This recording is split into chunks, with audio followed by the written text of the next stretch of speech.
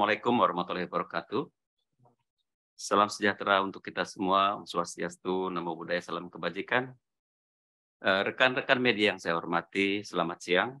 Eh, terima kasih sudah memenuhi undangan kami untuk hadir pada kesempatan siang hari ini, walaupun dalam eh, undangan yang relatif singkat. Dalam dua hari ini, banyak pertanyaan yang diajukan rekan-rekan media ke kami di Kementerian Luar Negeri khususnya terkait ihwal perlindungan WNI sehubungan dengan bencana gempa bumi di Turki, yang kita ketahui juga berdampak uh, ke Suriah dan Lebanon, dua negara terdekat, uh, tetangga terdekat Turki.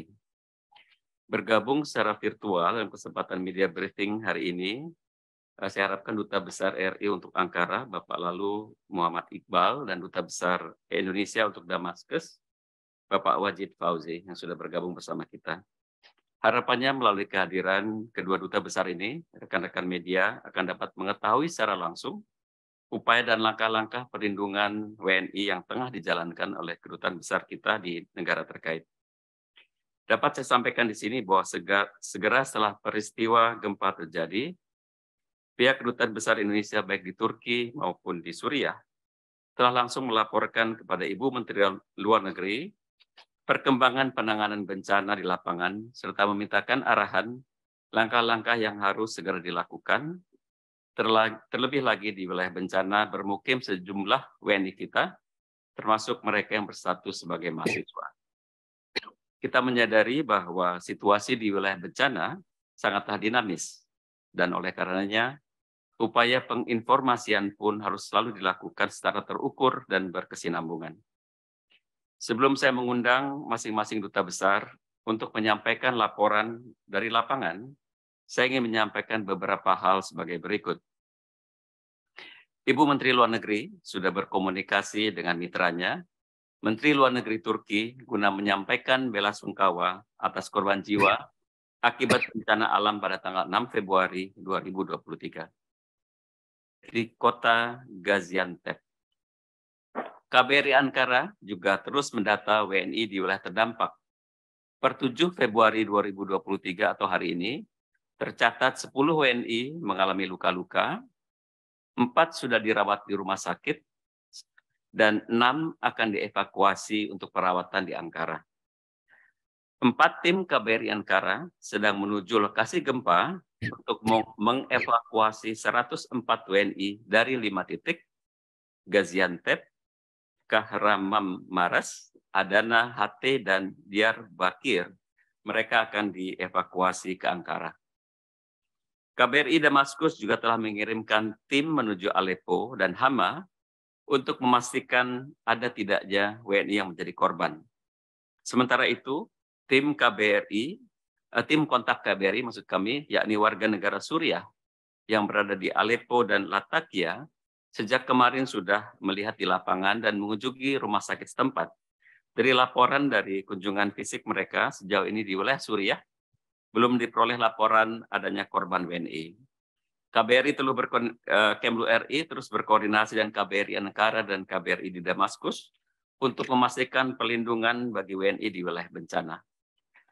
Eh, rekan-rekan media, kurang lebihnya itu yang akan saya sampaikan di saat eh, kesempatan ini. Selanjutnya tentunya KBRI, apakah di Ankara maupun Damaskus telah menyiap, menyiapkan apa yang disebut kontak call, ya, uh, call center bagi anggota keluarga di tanah air sekiranya ingin berhubungan dengan keluarga mereka, apakah itu di Ankara dan di KBRI Damaskus. Mungkin saya bacakan saja. Call center untuk KBRI Ankara adalah plus 90 532 135 2298 dan call center untuk KBRI Damaskus adalah plus 963 9544 44810. Selanjutnya, selanjutnya saya ingin mengundang Bapak Duta Besar Lalu Ik Muhammad Iqbal di Turki untuk memberikan laporan perkembangan lapangan. Saya tidak tahu apakah sudah tersambung Pak Iqbal. Yang ingin saya sampaikan adalah Pak Iqbal sedang dalam perjalanan dari Ankara menuju wilayah terdampak uh, di perjalanan yang kurang lebih akan berkisar tujuh jam perjalanan dari Ankara jadi beliau tadi sudah memberikan indikasi awal bila ada kendala dalam uh, bergabung di apa di Zoom ini uh, beliau uh, di menyampaikan permohonan maaf. Namun sudah bergabung bersama kita juga Bapak Duta Besar Wajid Fauzi di Damaskus. Mungkin Pak Dubes Wajid kami undang untuk memberikan laporan, laporan dari lapangan eh, khususnya menyangkut informasi WNI kita. Silakan Pak Dubes. Terima kasih Pak Dirjen, eh, rekan-rekan media. Assalamualaikum warahmatullahi wabarakatuh. Izin melaporkan apa yang telah disampaikan oleh Bapak Dirjen tadi Eh, kami menggarisbawahi sepenuhnya bahwa yang pertama eh, untuk rekan-rekan media ketahui bahwa selama ini memang KBRI Damaskus memiliki shelter di Aleppo dan Latakia. Dan untuk itu ada beberapa kontak person dan mereka petugas shelter yang sejak kemarin sudah melakukan tugas eh, melaporkan dari lapangan meneliti dan mengunjungi rumah sakit beberapa rumah sakit yang di Aleppo dan Latakia. Alhamdulillah Ibu Bapak sekalian bahwa sejauh ini eh, kita belum atau tidak menerima informasi mengenai adanya WNI yang terdampak. Eh, untuk penguatan mereka, pagi ini tim KBRI akan menuju ke Hama dan Aleppo. Eh, pertama akan ke Hama dulu untuk melihat dan memastikan atau mencari informasi mengenai kemungkinan WNI yang terdampak. Lalu akan melakukan penguatan di Aleppo. Sementara itu, eh, sambil menunggu perkembangan lebih lanjut, kami akan siapkan tim berikutnya sekiranya masih diperlukan. Informasi-informasi selanjutnya akan kami update kepada Kementerian Luar Negeri dan kepada rekan-rekan sekalian. Untuk sementara demikian Pak Dirjen. Terima kasih atas waktunya. Eh, terima kasih Pak Dubes Wajib. Saya uh, ingin konfirmasi apakah Pak Dubes kita dari Ankara sudah bisa bergabung. Mungkin teman-teman bisa dicek. Saya persilakan Pak Iqbal. Mudah-mudahan sambungan cukup baik ya jalan di kendaraan ini.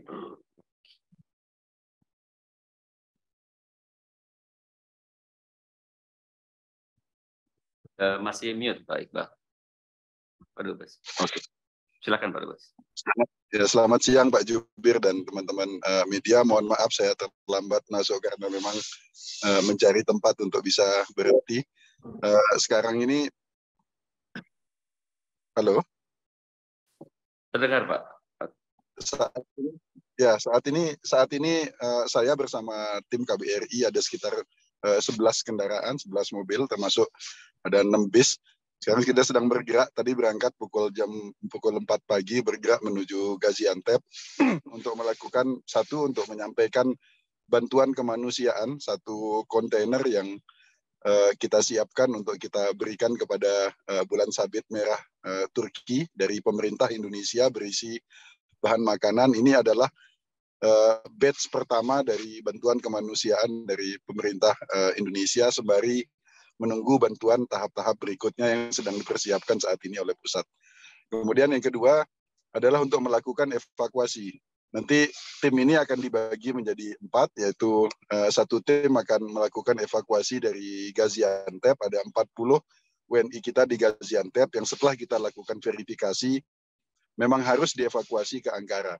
Karena 40 orang ini WNI kita yang rumahnya sudah hancur sama sekali, uh, ada yang beberapa mahasiswa yang uh, tinggal di asrama dan asramanya sudah hancur, tidak mungkin lagi ditempati. Sementara ketika berupaya masuk ke safe house, ke rumah-rumah sementara yang disiapkan oleh pemerintah, sudah overcrowd kondisinya, sehingga tidak mungkin lagi untuk untuk masuk ke situ. Dan saat ini mereka ada yang tinggal di uh, uh, apa di masjid, kemudian di stadion olahraga dan sebagainya kita sudah komunikasi dan kita minta mereka untuk berkumpul di satu poin dan akan kita jemput. Kemudian dari Kahraman Maras juga ada sekitar uh, eh, 100 ada sekitar 40 orang. Sebetulnya ada sekitar 140, tapi yang 100 masih bisa ditampung di safe house. Sementara yang 40 orang ini di lapangan dengan tenda-tenda di lapangan gitu dengan kondisi cuaca seperti saat ini yang sangat uh, tidak bersahabat sehingga kita putuskan untuk kita evakuasi. Kemudian dari Diyarbakir ada sekitar 4 orang yang akan kita uh, evakuasi. Jarak uh, dari Ankara ke Gaziantep itu jaraknya dalam kondisi normal sekitar 6 jam. Dengan kondisi saat ini kemungkinan kita baru akan bisa sampai 9 jam karena nanti saya akan tunjukkan kondisi kondisi cuaca yang sedang uh, yang yang uh, yang terjadi saat ini. Kemudian uh, di uh, Adana ada satu keluarga akan kita evakuasi. Sisanya di Hatay. Dari Hatay kita akan mengevakuasi sembilan orang dan di antara sembilan orang itu tiga di antaranya itu mengalami patah tulang. Patah putang salah satunya uh, uh, patah punggung, jadi kita juga bawa ambulan satu. Uh, keenam orang ini adalah uh, uh, mereka yang sudah kita upayakan untuk rujuk ke rumah sakit setempat. Namun rumah sakit setempat juga sudah overcrowd, tidak mungkin lagi untuk memberikan perawatan sehingga kita putuskan untuk kita evakuasi dan dirawat di uh, Angkara nantinya gitu. Nah, uh, sebagai tambahan um, kemarin kita masih menyampaikan bahwa jumlah uh, WNI kita yang terkena dampak langsung yang luka-luka dari gempa ini adalah tiga orang per hari ini per tadi malam sudah menjadi 10 orang. Jadi empatnya sudah bisa kita rawat di rumah sakit, sementara enamnya yang sekarang akan kita evakuasi. Jadi total ada 10 orang. Di luar itu ada satu ibu dengan dua anak yang sampai saat ini mereka tinggal di Antakya. Sampai saat ini belum berhasil kami hubungin. Kami sudah mencoba melalui simpul-simpul masyarakat dan akan terus kami coba.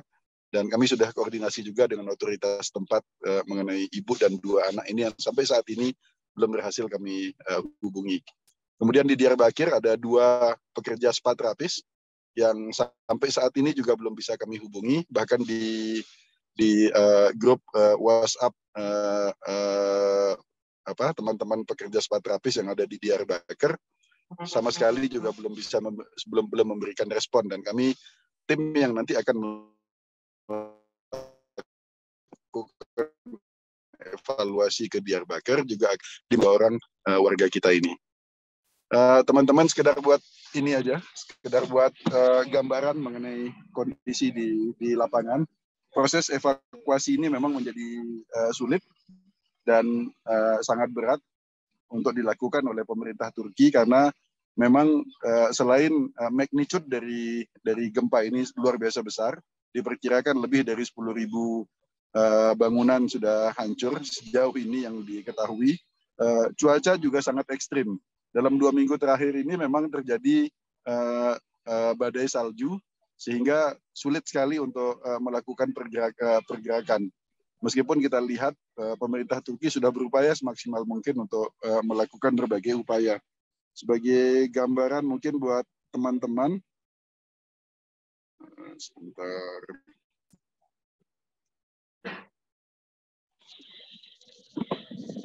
Ini kondisi di kondisi di jalanan menuju Gaziantep yang biasanya dalam dalam enam jam kita bisa tempuh sekarang mungkin 9 jam. Jadi badai salju sehingga pergerakan akan sulit sekali dilakukan. Cuaca cuaca di lapangan uh, minus 7 minus 7 di lapangan termasuk di Gaziantep dari Karas.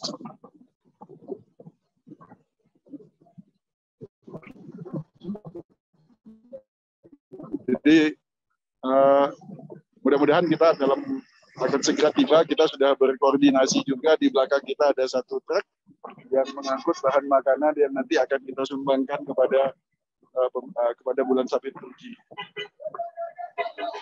Mungkin itu Pak Dirjen. Baik, terima kasih Pak Dubes.